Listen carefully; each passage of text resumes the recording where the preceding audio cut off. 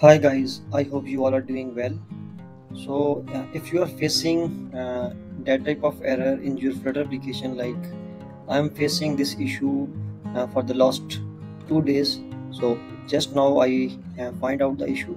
I find out the issue and find out the solution. So I'm just going to uh, I'm just going to share with you. So basically I'm facing issue about platform exception. Like this is the unknown failed to load Firebase options from the resource check that you have a defined value values.xml correctly. So instead of edit this file uh, i find out the issue. So basically what's wrong in our flutter project? So in order to fix it you just need to go to your android folder.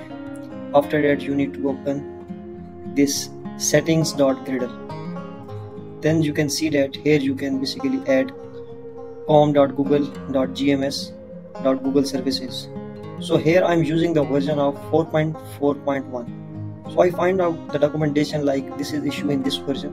So you just need to use another version like i am using 4.3.13 so if i just save it and after that uh, you just need to clean up terminal. You just need to go to the flutter clean and after that once your build will be cleaned okay then again pubget okay now i'm just going to run it again. If you run your application and it's still not working then you need to sync your project. Uh, if you don't know about how to sync your project so just let me know in the comment box. So i will make a video on on that like how to how to sync your project in order to update dependencies okay still i'm think i'm facing again this issue. See so i need to sync my project. So how to sync it?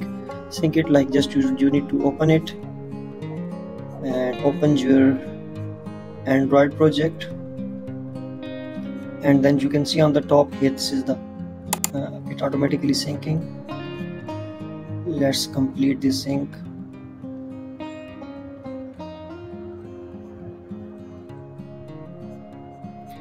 will take little bit time so after that.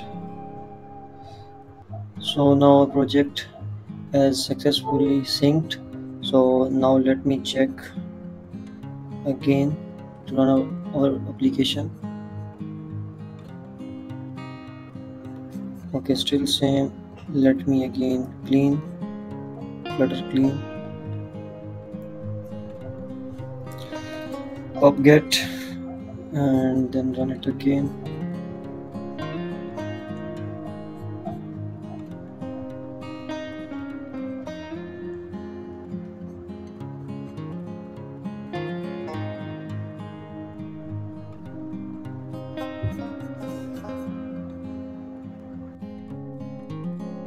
So now you can see that our application is running. So if you still facing this issue just stop your project and open your uh, open android studio again. Android studio or visual studio whatever the you are using. So in this way you can solve this issue. Thank you so much for watching